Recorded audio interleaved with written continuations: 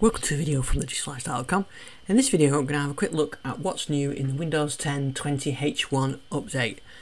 Um, at the time of recording, which is the 22nd of February, we don't have a huge amount of details of actually what's new. So what I'll do is I'll do this video now and then I'll update it as we get more information as we get closer to the release date.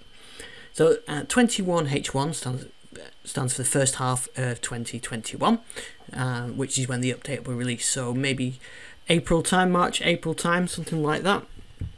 And uh, that's when the um, update will come out. Now, unlike was last year, this time it's coming through as a service update, and um, which means it's like the monthly update. So it's going to be a minor update that comes down and it's quick to install rather than the full image download.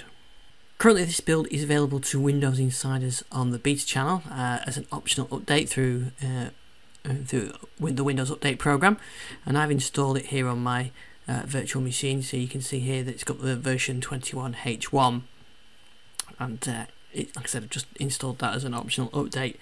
Now, at the moment, we're not seeing any new features as such, but Microsoft can kind of switch those on and off as they as they want through the servicing update. So just because we're not getting those now doesn't mean we won't get them later. But what Microsoft says is that version 20H1 is a scoped set of features uh, improving security, remote access, and quality rather than uh, a major update.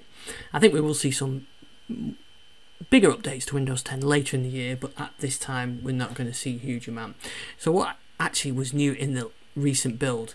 Well, the uh, Windows Hello multi-camera now um, enables you to have an external camera for Windows Hello.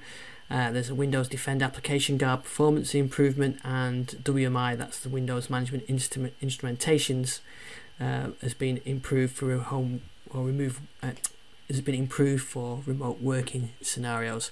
So in other words, not many changes with it. So we're not got any new features. I can't show you anything on here.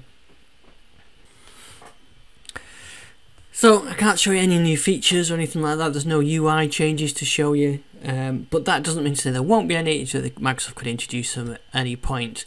The news and interest feature on the dev channel uh, could be switched on there. I've got that on some other videos that you can see on our YouTube channel on digitalLifestyle.com. But uh, that they could switch that on onto here, which is a little news and interest button down here, which shows you some information.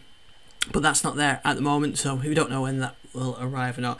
But it looks like, Microsoft making this a minor update um, under the hood fixes to improve remote working and other minor changes and then we'll see bigger changes later in the year. So like I said I'll update this video and do another one when we get some more features but that's it for now. Thanks for watching this video.